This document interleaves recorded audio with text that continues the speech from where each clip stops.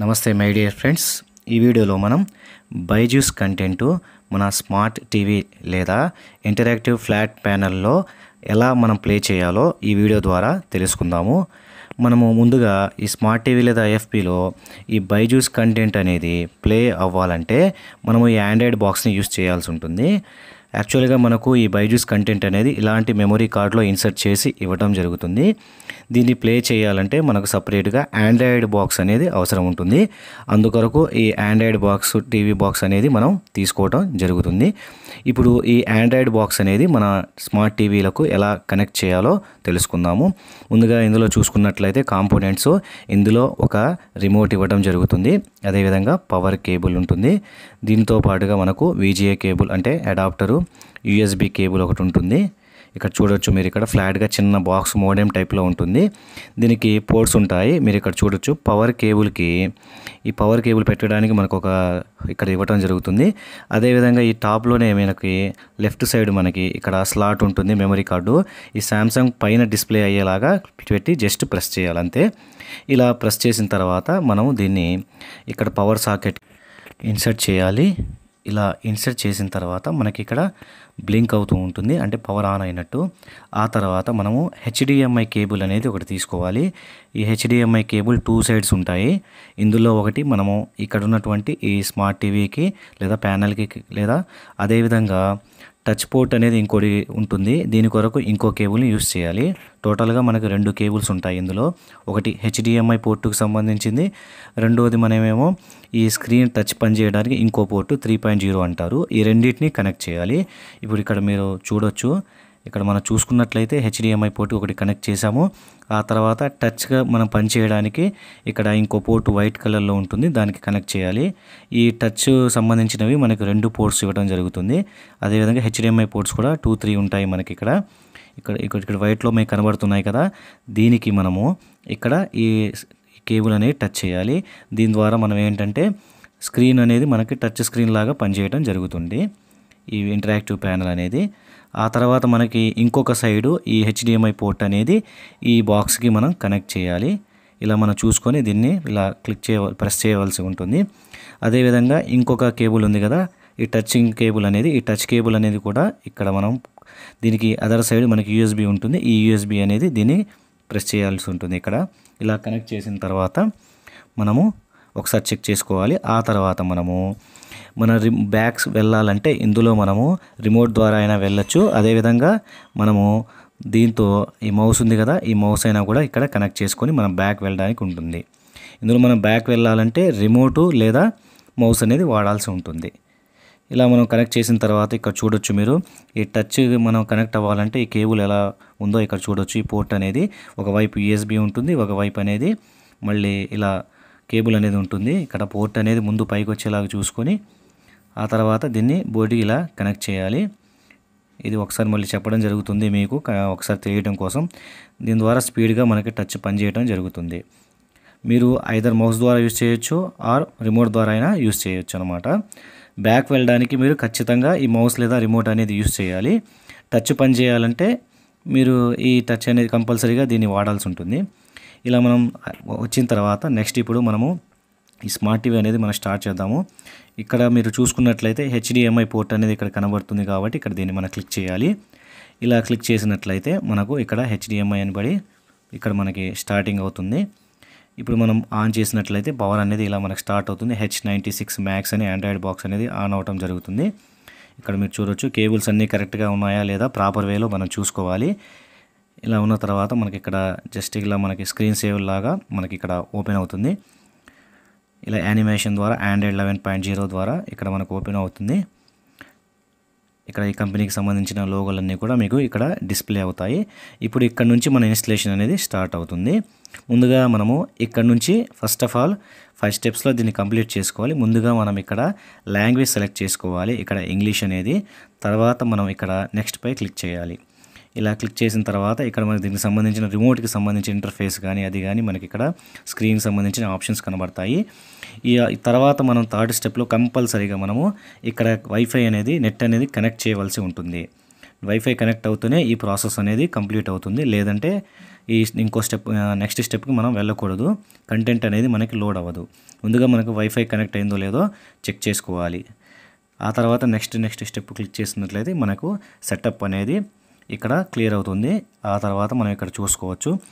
ఈ ముందుగా మనము ఈ బైజూస్ కంటెంట్ అనేది లోడ్ చేసే ముందు ఇక్కడ సెట్టింగ్స్లోకి వెళ్ళి ఇక్కడ నెట్వర్క్ అండ్ ఇంటర్నెట్ ఉంది కదా ఇక్కడ మన హాట్స్పాట్ లేదా వైఫై ద్వారా మన కనెక్ట్ అయిందో లేదో ఇక్కడ ముందుగా మనం చెక్ చేసుకోవాలి. ఈ చెక్ చేసుకున్న తర్వాతనే ఈ బైజూస్ కంటెంట్ అనేది మనము మనం లోడ్ చేయడానికి అవకాశం ఉంటుంది. మీరు బ్యాక్ వెళ్ళాలంటే జస్ట్ మీరు మౌస్లో రైట్ క్లిక్ ఇవ్వాలి.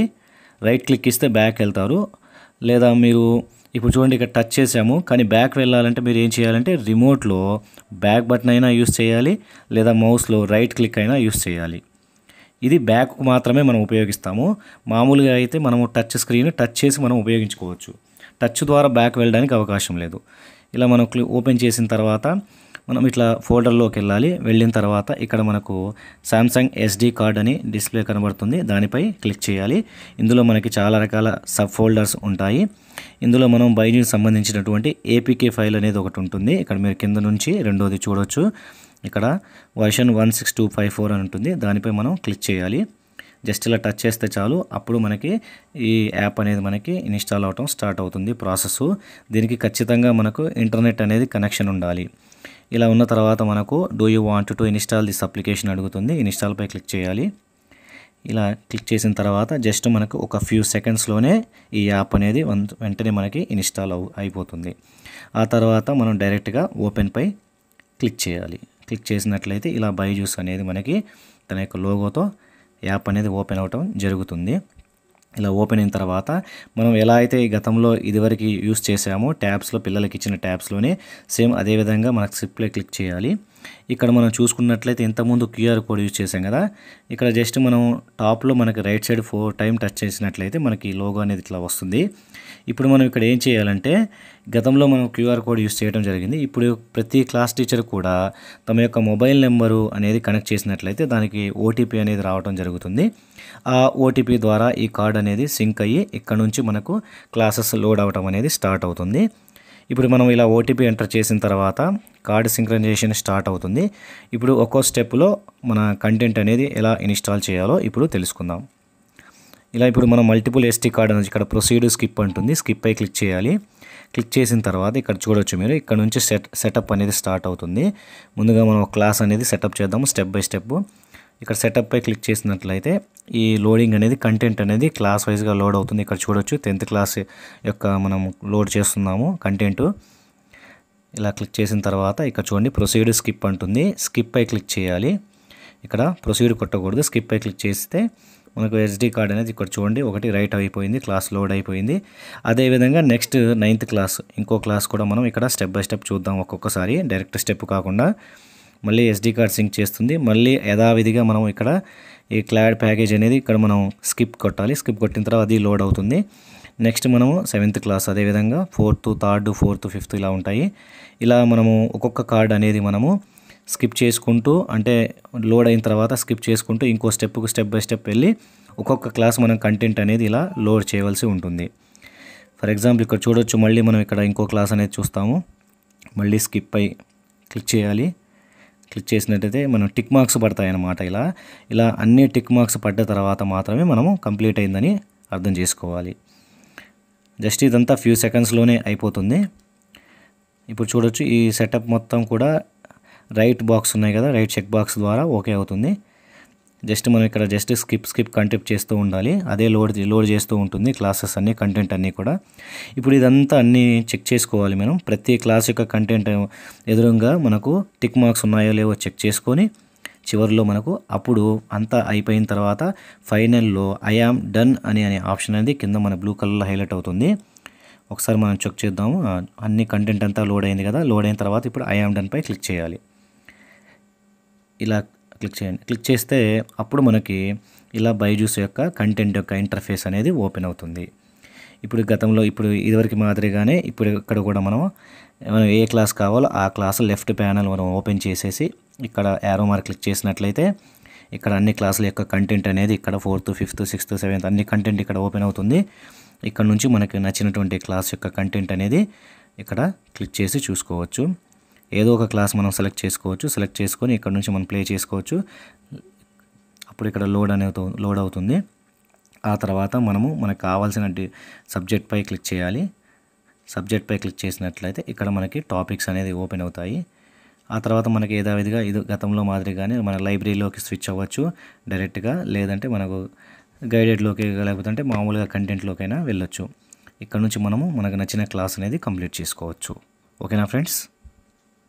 ఇలా ఈ విధంగా మనము ఈ బైజూస్ కంటెంట్కి సంబంధించిన క్లాసు ఇన్స్టాలేషన్ అనేది స్మార్ట్ టీవీ లేదా ఐఎఫ్పి టీవీలలో మనము ఇలా ఆండ్రాయిడ్ బాక్స్ ద్వారా ఇన్స్టాల్ చేసుకోవచ్చు. Thank you all.